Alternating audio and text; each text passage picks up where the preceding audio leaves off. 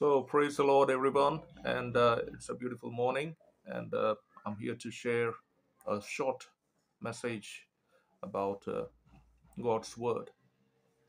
This morning, I want to remind ourselves that uh, whom do we worship? You see, uh, there's a research that has happened, and uh, it has been established fact that 80 to 90 percent of the time, what you think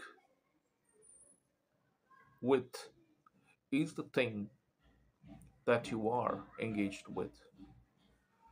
So, the first thing that comes to us is this that I am a believer, I am a child of God. So, then uh, I am doing the things of God. I want to ask you a question How long has been your prayer? How long has been our prayer? How have we meditated on the Word of God? And also, how are we engaging in God's kingdom? Are we praying for elections in the country? Are we praying for issues in the country? Are we praying for our own blessings? Or are we looking at God's picture? Because God said that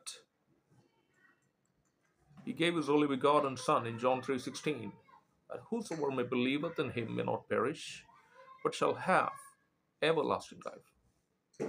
And that includes the promise for the nations, not only Israel, and all the others surrounded with it.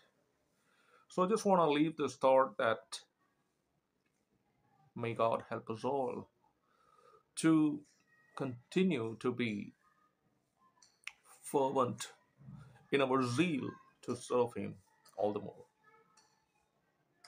As much as you need prayers, I need prayers too. We need prayers too.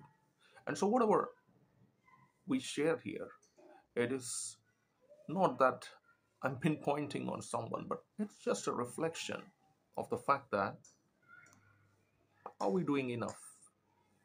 If Jesus comes tonight, that he will take us to be with him.